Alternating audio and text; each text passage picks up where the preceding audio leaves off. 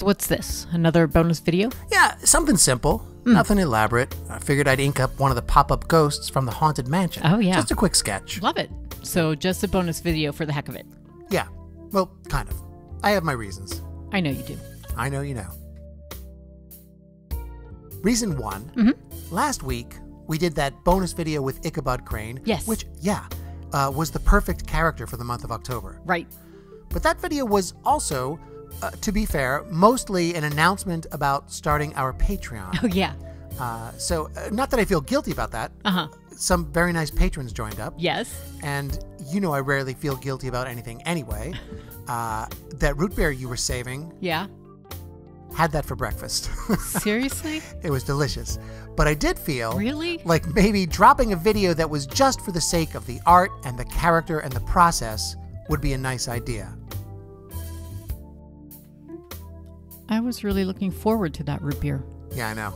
But there are other reasons I made this video. Yeah. First, as I mentioned, it's October and you want to do something spooky if you can. Oh yeah. So that's why this is a video about a ghost. Right. Of course. Uh, second, I note, and you may well note, Uh-huh. that during the month of October, an awful lot of people start inking things, Right. some on a daily basis, Yeah. and start slapping them up on the internet. Yep. Inking is big in October. Right. So that's why this is a video about inking. Mm-hmm. Now, it's just a one off. This year I'm not doing the daily ink thing, but Okay. lots of people are And some people do this every October. every single October. Dave Pryor does his bear illustrations every Mm-hmm. October. He calls it Inktober. Inktober, yeah, and they're really amazing little drawings. Mm-hmm. Oh yeah. Ink and wash, I think. Right.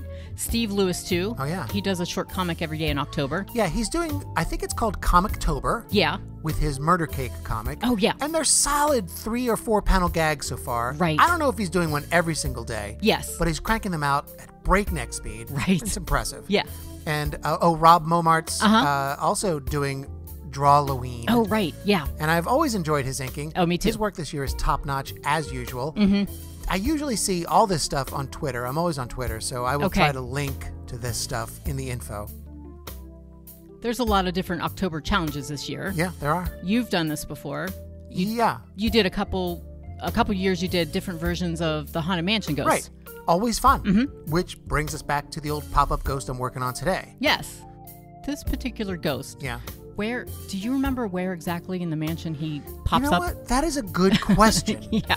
I double checked to make sure I remembered correctly. Okay. And I think he pops up in the cemetery Okay. near the end where those ghosts are having tea near the hearse with the busted wheel. Oh yeah. There's one crypt right around there with an arm extending from it holding a teacup. Oh, yeah, and yeah. right in front of that is a headstone, and I think this is the ghost that pops up from behind that headstone.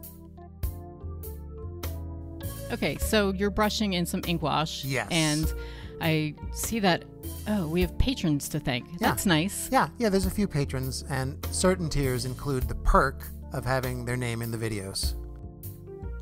Is there Oh. So just the one so far? Yeah, just the one in that tier. Can this go any faster? Uh, no, just the one speed. Wow. This is excruciating. This is what success looks like. All right, I'm calling it. you got to be finished by now. Let's take a look. All right. So there's the pop up. Oh, wait, wait, I just remembered. Yeah. I wanted to add color to this thing. Oh, nice. Watercolor? Yeah, just a light watercolor in that uh, haunted mansion blue. Ooh, yeah. Just on the ghost, Okay. and it gives it that eerie, ghostly, cadaverous pallor. Ooh. Looks great over the ink wash.